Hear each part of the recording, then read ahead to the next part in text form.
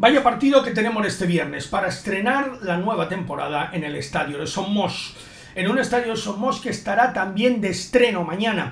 Os lo vamos a contar todo en este vídeo, las novedades que os vais a encontrar dentro y fuera del recinto, porque fuera también vais a tener alguna sorpresa. Hablaremos de la alineación que pueden presentar los dos equipos, las novedades que hay en las dos alineaciones y también de algo que a mí me produce escalofríos cada semana que son los árbitros, tanto el que va a estar aquí como el que va a estar en Madrid en la Salabor.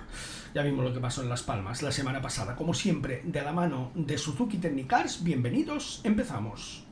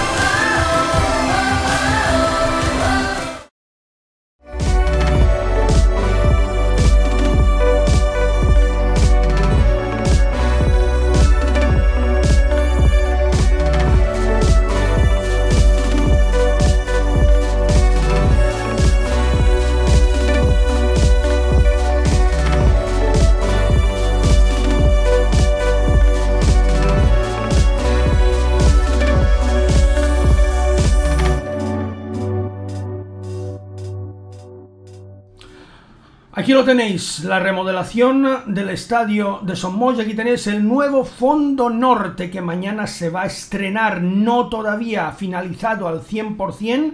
Aquí está esta toma espectacular. Falta el videomarcador que va a estar eh, ya listo para el siguiente partido en Palma. También la zona superior en este palco vive. Aquí tenéis la tribuna oeste con esta parte inferior también que se estrena con ocasión del encuentro ante el Villarreal. La verdad es que el estadio está quedando espectacular y sin duda los que tuvimos la oportunidad de asistir en 1999 a la Universidad de Palma y aquel estadio que se nos prometió que en un año se retirarían las pistas de atletismo, se ha tardado muchísimo más, pero yo creo que ha valido la pena.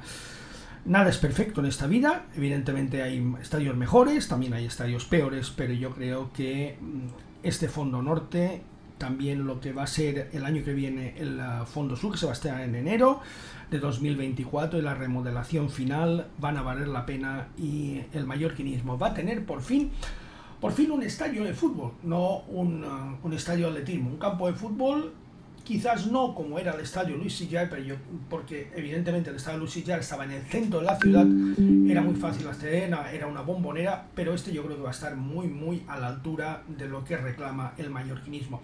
Os decía al principio del programa, vais a encontrar sorpresas dentro con este nuevo fondo norte que ya se va a ocupar por parte de los aficionados que tengan sacada entrada en ese fondo norte.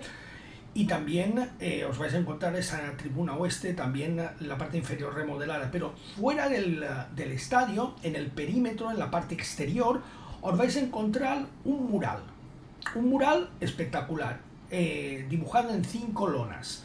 Cinco lonas que van a cubrir el espacio que ahora mismo, sobre el que ahora mismo se está trabajando, que va a ser el nuevo restaurante del Mallorca, que va a ser la nueva tienda del Mallorca y que va a ser también la futura residencia de jugadores. Este mural era espectacular, lo ha confeccionado Jonat Grau, aficionado mallorquinista que de manera totalmente altruista y por su, por su afición al club lo ha diseñado, lo ha elaborado con futbolistas de la primera plantilla y también con, eh, con las imágenes de algunos aficionados.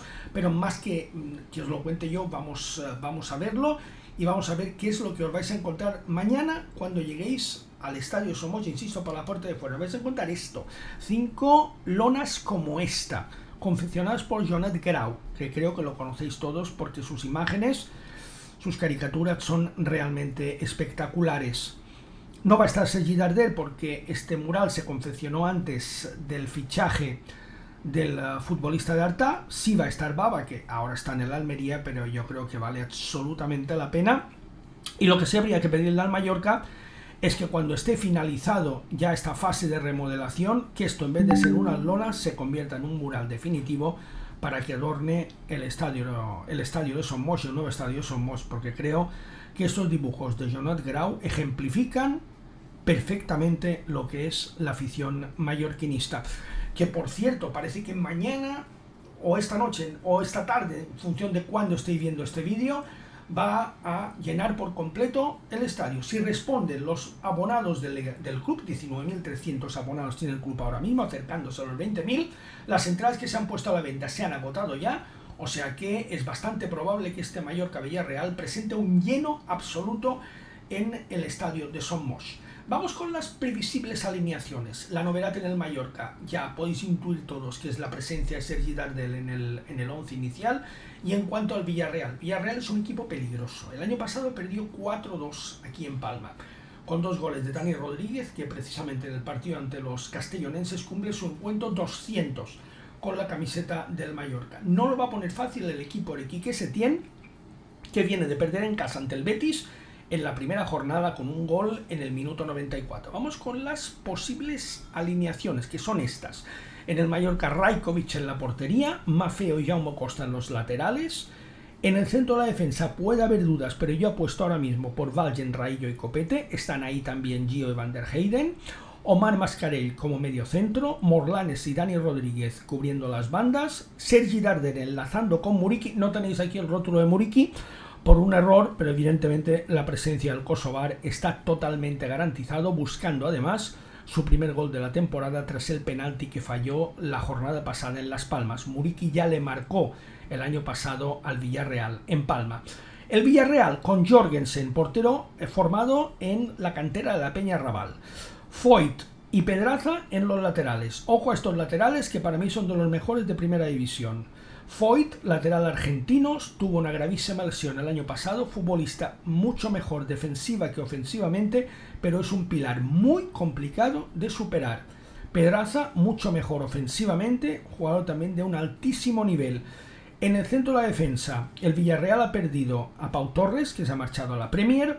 Van a jugar Mandy y Cuenca. Por ahí puede tener problemas el Villarreal. Mandy muy irregular, muy irregular, capaz de lo mejor y de lo peor. Y Cuenca que es un futbolista al que conocemos todos de su paso por el Getafe o por el Almería, donde era compañero de Morlanes y de Samu Costa en la temporada en la que el Mallorca ascendió a Primera División con Luis García Plaza.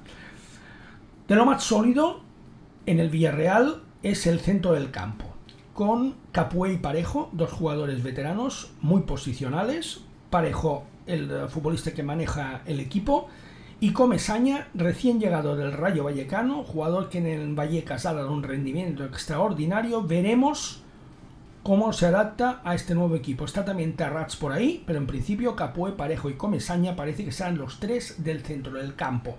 Y arriba Gerard Moreno, el ex mallorquinista, Baena en el otro costado, futbolista de bastante nivel. Y como punta de lanza el noruego Sorlot, fichaje estrella del Villarreal esta temporada, se lo ha quitado, se lo ha arrebatado a la Real Sociedad. El Villarreal ha vendido jugadores importantísimos porque no solo ha perdido a Pau Torres, también a Jackson y también a Samu Chukwueze, futbolistas mm, muy importantes para este Villarreal que vamos a ver cómo le sustituye. Y vamos para acabar con lo que para mí es el principal dolor de cabeza mm, de cualquier equipo ahora mismo, que son los árbitros. Vamos con los árbitros eh, para esta jornada, que son los siguientes. Aquí están, aquí tenéis todos los árbitros de esta segunda jornada, pero los que nos interesan a nosotros son los dos primeros. Javier Alberola Rojas en el campo y Santiago Jaime Latre en el bar. Estos son los dos árbitros de los que mañana dependerá lo que suceda en el terreno de juego entre el Mallorca y el Villarreal. Alberola Rojas, ¿lo recordáis? Os refresco la memoria fue el que pitó el año pasado en Cornella Prat el partido español-Mallorca, que perdió al Mallorca 2-1 y en el que dejó sin señalar un penalti escandaloso cometido sobre Ángel en los últimos minutos de partido. Incluso así, voy a ser honesto, para mí este es de los menos malos de primera división. Otra cosa es Jaime Lat en el, en el bar, aquí sí que puede pasar cualquier cosa. Pero con los árbitros, si eres Real Madrid o Barcelona, sobre todo Real Madrid, puedes estar bastante tranquilo. En cuanto al resto, pues entras en una lotería que a veces eh, te sale a favor y a veces te sale en contra. La semana pasada vimos como del Cerro Grande ordenaba a García Verdura que se fuera al monitor a pitar penalti contra el Mallorca en una acción de copete con Sandro en la que le pisó después de que el jugador de Las Palmas hubiera efectuado un centro, pitó penalti, fue el gol de Las Palmas, lo marcó Jonathan Vieira, y un par de horas más tarde vimos como Jesús Gil Manzano, para mí el peor árbitro de primera división, en una acción similar o incluso de mayor riesgo por parte de Militao, no solo no señalaba penalti, sino que además ni siquiera vigilaba o ni siquiera revisaba la jugada. Con los árbitros eh, es una batalla perdida y es cuestión de tomárselo con filosofía. Mañana a las 7 y media de la tarde y os anuncio también a las 10 de la noche vamos a emitir 442. Lo pasamos del domingo al viernes para tener protagonistas en el estadio Somos. Estará también Pep Barcelona, nuestro analista, estarán nuestros comentaristas para ofreceros de la forma más fresca y rápida posible las reacciones de este primer partido de la temporada en el estadio de Somos. Muchísimos alicientes. Sechi Darder, la nueva, el nuevo fondo norte, la nueva grada oeste el mural de Jonet Grau, el Villarreal, que es un equipo que siempre, siempre gusta de ver porque trata bien el balón. Muchas cosas, muchas cosas por ver. Y si Dios quiere, aquí estaremos mañana a las 10 de la noche para contárosla, como siempre, de la mano de Suzuki Técnicas. Gracias por haber estado con nosotros.